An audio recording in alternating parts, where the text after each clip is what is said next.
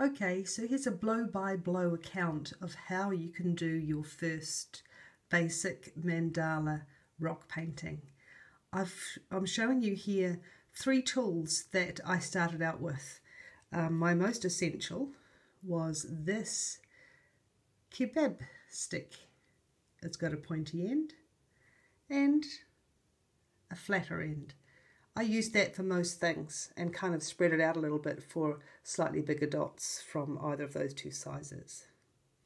Um, I also found a paintbrush that I liked which had reasonably flat end. It was a little bit bigger than the end of the kebab stick. And also I bought a pack of these pencils really cheap just with the eraser on the end there and that was quite good for a larger dot. So that's what I started out with. I then bought a set of these nail art tools, which you can see range from very tiny dots through to bigger dots. I think that's the biggest, biggest one there.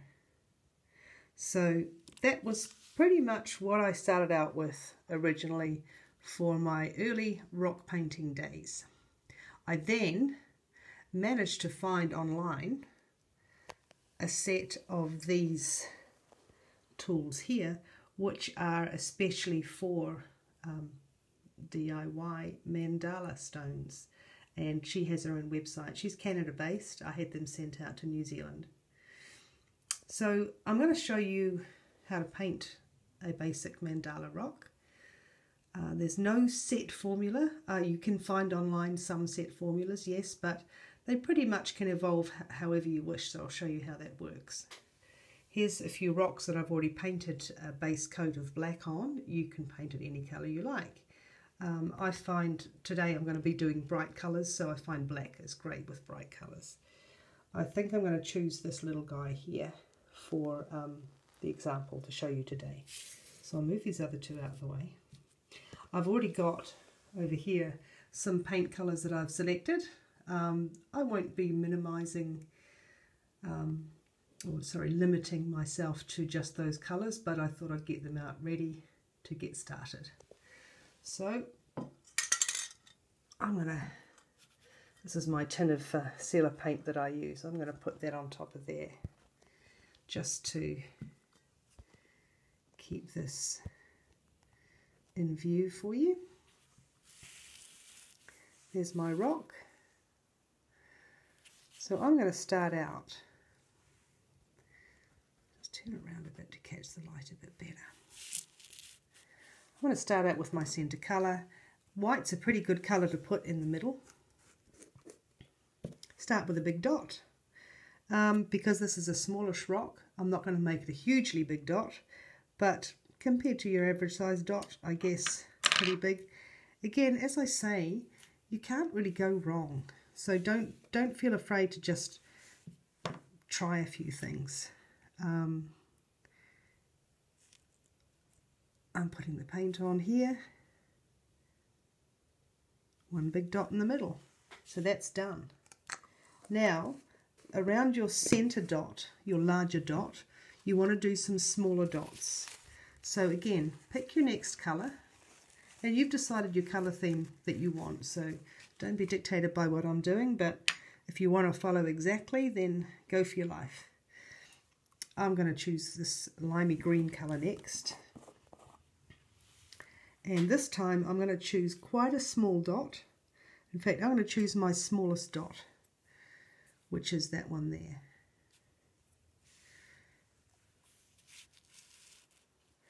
And you just need to start by doing a top and a bottom. Or I think depending on the way you're looking at this when I um, put it online it might be a bottom and a top. And then a left and a right. If you get those four points in first it's easier to navigate the rest of the rock. So from there I'm going to put in one in the middle of each of those See it developing there. And because I've choose, chosen an especially small tool, I'm going to do another one in the center of each of those. So there's quite a few second rows of dots there. That one there I didn't do properly the first time so I just went back and did another little dab of paint on the top. You can see that I'm using the finger of my other hand. That is simply just to steady the painting hand. And if I just touch the end of the tool with that finger, it helps me to keep it steady. So that's pretty even. The first time you do it, mark my words, it won't be as even as that, but it doesn't take long to get the hang of it. So from this size dot, I'm going to take it up a notch and go a little bit bigger. So this particular tool has um, a small dot number one there and a number two there.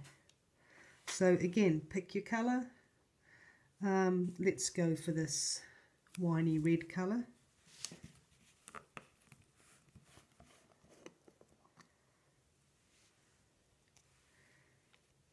Now, for the second row, I usually go in between. So you'll see for the first one, each dot has a slight gap. So I usually aim for in between those bearing in mind that I don't really use those for my alignment. I still go top and then bottom and then left and right first because that's a lot more accurate than going right in between. But when you do your top and bottom, put the first two or three in between the little inlet there where it goes between the inner dots and that will ensure you get your starting point correct. Now this time I'm thinking maybe I'll do something different. Maybe I'll put a slightly bigger dot. This is what you can do. You can just go around again with this next size up or you can do something different. I don't know how this is going to turn out, but I'm going to go for a slightly bigger dot and I'm going to put it in between. Just outset it a little bit so it's not as close as the others.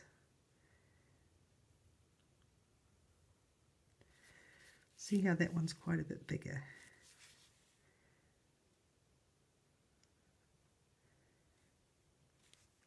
I read somewhere there's no such thing as a mistake just bigger dots. And I like that theory. So if you feel that it really doesn't look good, you just kind of work with it until it does. Cover it up with a bigger dot.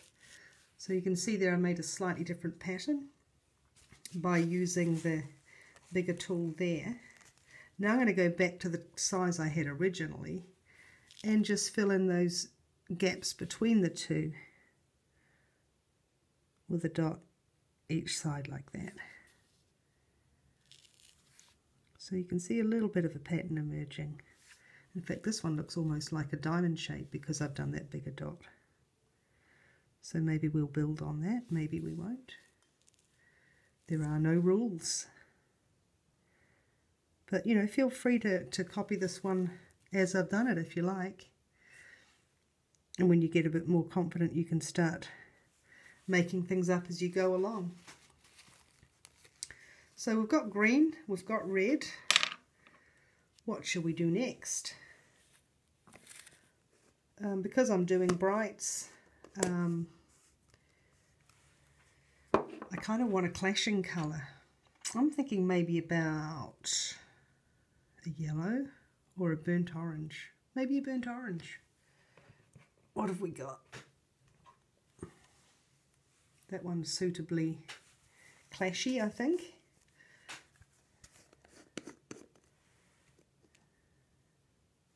So, I think I'm going to do that same bigger size that I used for the red there. And I'm going to go on top of that middle dot right there. When I say on top, I don't mean literally on top, I mean in line with, I think, a better word.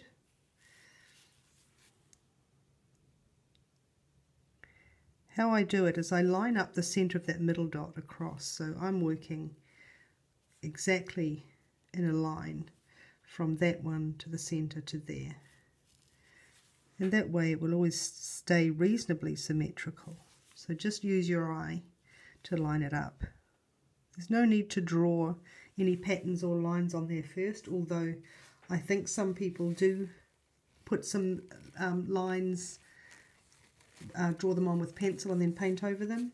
I'm always a little bit worried if I do that because how am I going to get the pencil off from in between? So I don't do that. Um, before I put the lid on, I'm just thinking, what shall I do? Yeah, I'm going to leave that for now. Choose my next colour. I might do some little circles around these. And how about we use the blue. I might go pale blue here, this colour. I'm going to go to that very, very small one I started out with, right in the centre, the green one. Um, but for the top of each of these um, orange dots, I'm going to put slightly bigger, so the same size that I used for the smaller red. Just going to put that there like that on the top of each one. Now remember to line it up from the center through there and bung it there and that way you can keep your alignment, your symmetry. Line it up. I don't physically do that every time but it's just to show you how to get that symmetry going. So there's my little dot. Now I'm going to flick this one over from number two to number one. Um, the tools you're using may not be numbered. Like I say, I started out with that um, kebab stick, so um, sometimes to get a slightly bigger dot from the pointy end of the kebab stick, all I did was I made sure I put a lot of paint on and just kind of swizzled it around a little bit to spread it out. And then for the slightly smaller dots, I would leave it as it is. So I'm going to work my way around here. Um, one, two, three, four you can see how it as it gets less paint on it it starts to be smaller and I'm double tapping on the first one just to get a bit more paint off there on that one and that gives you the effect of a slightly bigger dot to start and a smaller dot as you go around.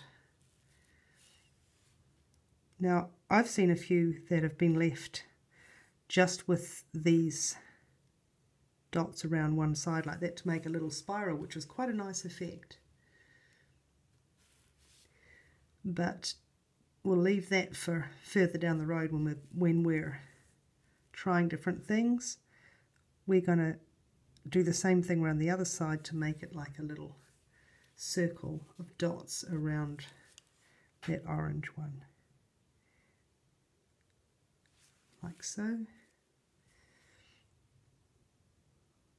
So that's really about all you need to know. And you can just keep working your way out from the center in that manner, doing what you feel like until you cover the stone as much as you would like. So I'll leave that one there for now. I might finish it off later um, with a uh, one of my famous fast forward videos which will show you what I do from here sped up. Okay, good luck with that. Let me know how you get on in the comments.